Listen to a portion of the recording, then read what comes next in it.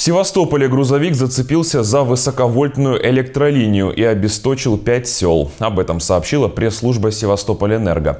9 октября в районе поселка Штурмовое автомобиль, принадлежащий подрядной организации «Мидстрим», при разгрузке строительного материала приблизился на недопустимое расстояние к воздушной высоковольтной линии.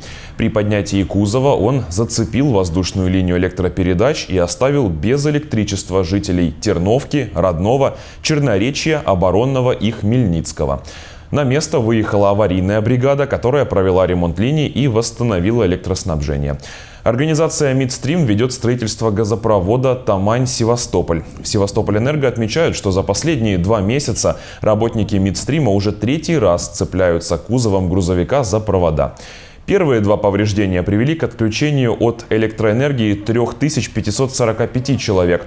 Отключение 9 октября оставило без электричества 7691 потребителя и 14 социально значимых объектов. По результатам расследования аварийных ситуаций Севастополь-Энерго обратилась в органы исполнительной власти по энергетическому надзору для привлечения лиц к ответственности. Но до сих пор строители рвут провода безнаказанно, портят оборудование энергообъектов и оставляют людей без электричества.